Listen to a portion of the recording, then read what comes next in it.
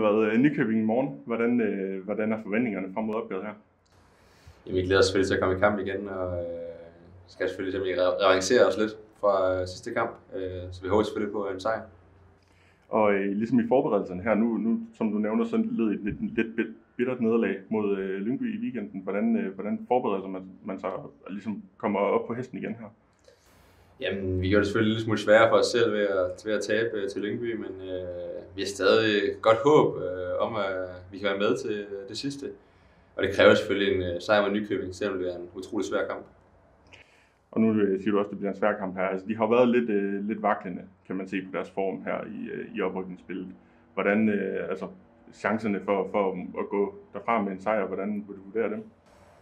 Jamen, det, er jo, det er jo klart, at Nykøbing har ikke helt det samme at spille for, som de andre hold øh, har, og selvfølgelig gør det også, at de måske har tabt flere kampe, end de normalt vil have gjort. Øhm, men jeg synes, at vores chancer er gode. Jeg synes, vi har gjort det godt i de sidste par kampe, og det skal vi egentlig ud og følge op på.